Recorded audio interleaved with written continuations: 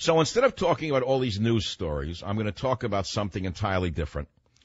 Uh, and that is a typical Savage Saturday. This is the day before the Super Bowl. It was extraordinarily quiet in San Francisco. The roads were empty because all of the good Americans were shopping for the Super Bowl. They were buying their, their provisions as though there was something amazing that was going to happen. They bought their hot dogs. They, they bought their hamburger meat. They bought their beer. They bought their soft drinks. They're getting ready to party on Sunday. And that's okay, as I say. That's truly an American thing to do. And better people than I watched the game. In fact, a better person than I and my family uh, went to the game. And he enjoyed it. But I didn't watch it. And so what I did was I went to San Francisco on Saturday just to give you a little peek as to what I actually do. And I visited the new radio studios that are being built for KGO, KSFO, uh, KNBR, and all, the whole cluster of Cumulus stations being built out uh, right now in San Francisco. And uh, the chief engineer Gary kindly had me in there, and he said, "Please don't bring Teddy." I said, "No, I'm bringing Teddy." He said, "Please don't bring Teddy. It's a construction zone. There's wires, there's nails, there's sawdust." So I left Teddy at home, and I visited the new radio studio in downtown San Francisco and I was shown the new KSFO studio where I may broadcast from time to time. And I said, that's beautiful. That's great. That's wonderful. Long overdue. Congratulations to Cumulus for building this out. It looks, it looks beautiful. And then I proceeded to walk up to North Beach, which is the Italian esque district of San Francisco. It's the reason I moved to San Francisco. I did not move here for any other reason other than the Italian district because it reminded me of a small village in Europe, a village that sort of exists here and there, but it still exists here. And it butts up against Chinatown, which is very interesting unto itself, because there's a blending of some of the Chinatown elements in North Beach in terms of certain stores that sell goods from China, which I want to tell you about in a minute, apropos of politics. You're going to not believe where I'm leading you. Yeah, just follow the bouncing mic. So as the day went on, I walked into North Beach. I visited my friend Giovanni at Pinocchio Restaurant, and he said to me, Michael, Michael, you give me the inspiration to go on.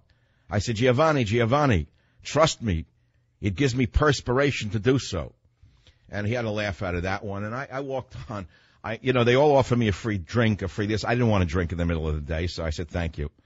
And then I was walking around and I went up Grant Avenue and I went past a Chinese antique store that's been there forever, for 40 years. And I, I love to look in this place. I rarely go in. Well, I stopped dead in my tracks.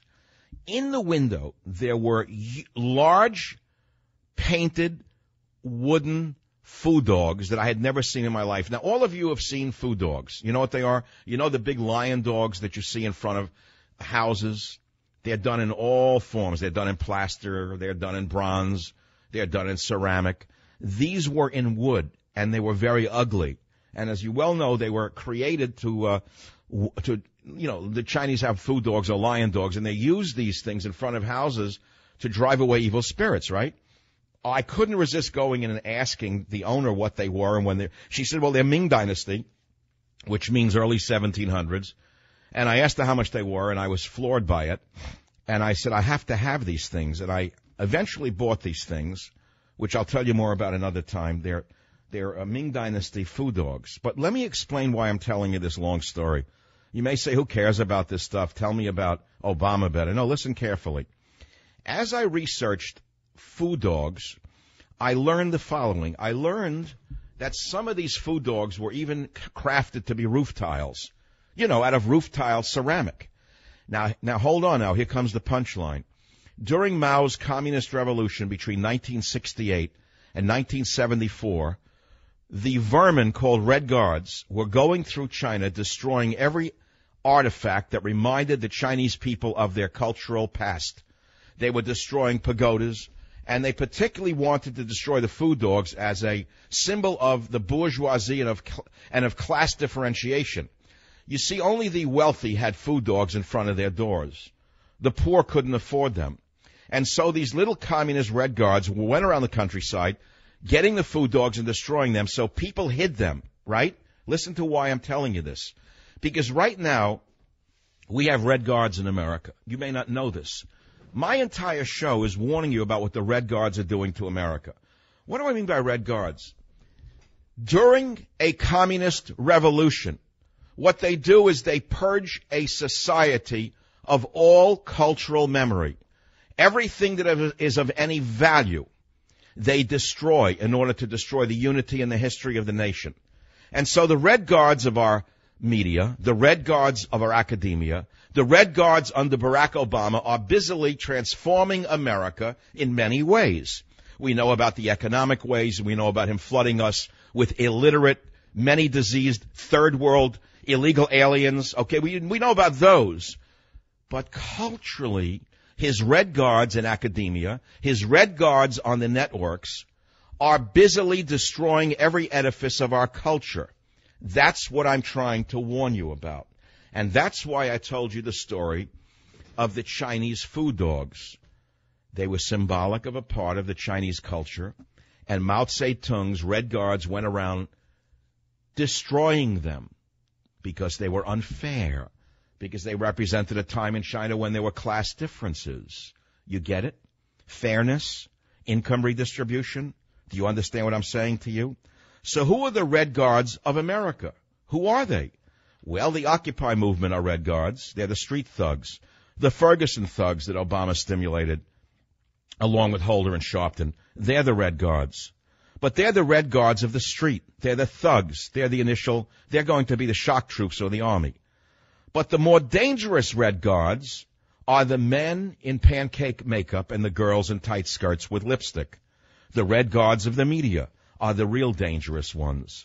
The Red Guards in academia are the worst vermin on the planet. So if you take a class in chemistry, they lecture you about Gaia and income redistribution. But I see a future of barbaric slavery if we don't stand up to them. And that's why I say when I recently visited the Chinese antique store in San Francisco, this unusually colorful pair of wooden foo dogs in the window stopped me in my walk and I went in. They were very ugly and colorful. And remember, they were created to ward off evil spirits, placed typically at the entrance of the homes of the rich. And these temple lion dogs were destroyed during the Mao Zedong Communist Revolution. The Red Guards roamed China and destroyed such dogs as symbols of a decadent bourgeois culture. In Obama's terms, unfairness. So people in China tried to remove and hide these treasures of Chinese vast cultural heritage some even removing the ceramic roof tiles of such lion dogs to save them from Mao's rapacious young thugs of political correctness that he named Red Guards. Does it sound familiar? Well, you see, our rogue president's Red Guards are rapidly destroying every vestige of America's cultural heritage. From the schools to the universities, young brains are being washed of history, even logic itself.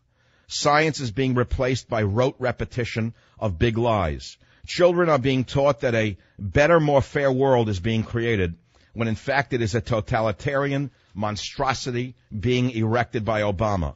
A world of conformist beliefs, not thought. A world where centralized authority replaces individualism. A world where conformity and nihilism trumps creativity and faith. And when and where the Red Guards of America's once independent media and academic establishments, where they once sought out, removed, and attempted to destroy any symbol of American distinction and greatness, that's when you have no America left. For example, when the film American Sniper attracted the biggest box office in decades and threatens to bring the people together in their love of country and the military, the harlots of Hollywood's left with their fellow travelers in the media, have begun a campaign of hatred against this film and its hero and snipers in general.